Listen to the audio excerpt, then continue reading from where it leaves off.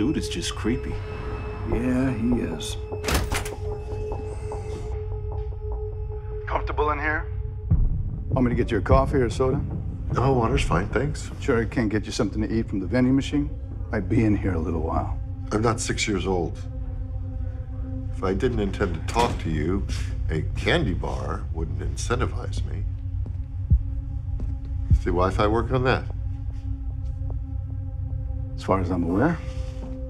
Good. So you know, I assumed it was probably a trap at the hospital. And yet, you went in anyway. I didn't have a choice. Really? How you figured that?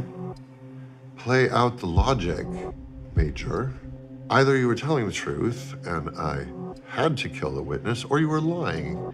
And if you were lying, it would only be because you were on to me. And if that was the case, then yeah, it was only a matter of time before you caught me. So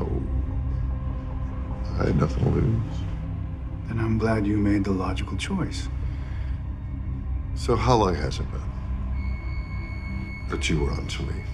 Oh, I've had my suspicions for a few months. You were denied the promotion in October. Your wife died after Christmas.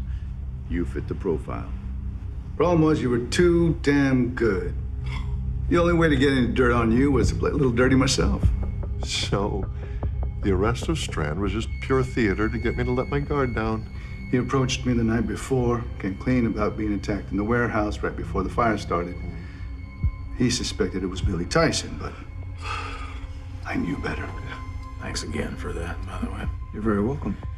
So Billy played Judas, reached out to me to blame Strand for my own deeds. That is impressive sleight of hand, especially for you. I'll try to take that as a compliment. Hmm. Now, for those deeds of yours, if you wouldn't mind, I'd like you to walk me through them. Whoa, whoa, whoa. Getting a little ahead of our skis, aren't we, Major?